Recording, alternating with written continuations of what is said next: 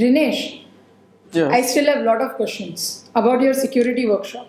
See, I have known that. Uh, okay, a simple example. Whenever I go to book my cinema hall ticket and book my specific seat through apps and all, I I book. I go ahead to the payment gateway. I make the transaction, but just before the transaction, I withdraw. I say cancel, and I come back.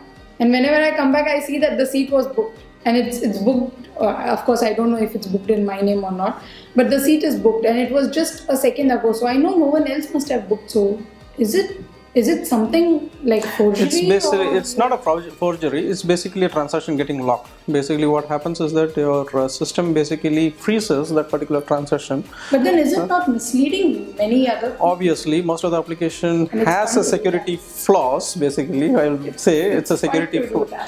It can be from the point of sale side. It can be when it is uh, booked from the internet. It's basically Okay. from the uh, SSL security side, and on top of that, your application level.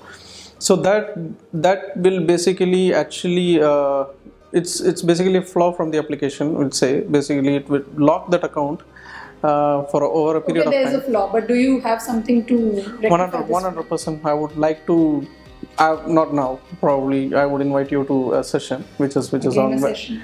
Obviously I, it's it's it's a bit lengthy. One to brief you on that right now.